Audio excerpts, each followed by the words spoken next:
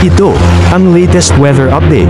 Alamin ang pinakasariwang ulat panahon ngayon dito sa Information TV Educational Channel. So ngayon, ito pa rin ay isang typhoon category at ito'y naglandfall na kaninang 1 p.m. dito sa May, Taiwan.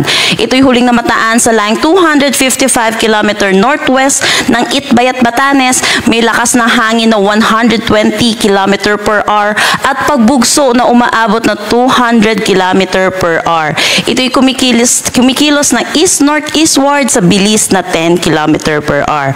Wala na tayong nakataas na anumang tropical cyclone wind signal sa anumang parte ng ating bansa, pero asahan pa rin natin dito sa Batanes at Babuyan Islands, makakaranas pa rin sila ng maulap na papawirin na may mga kalat-kalat na pag-ulan, dulot pa rin itong bagyong si Julian.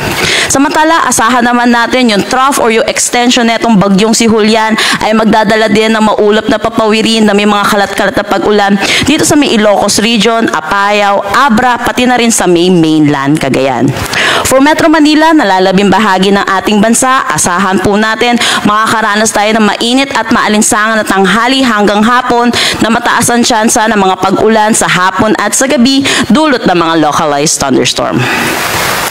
So makikita po natin yung forecast track po natin by 24 hours ay isa na lang ganap na low pressure area itong si Bagyong Julian. Dulot po ito ng patuloy na interaction niya sa kalupaan ng Taiwan.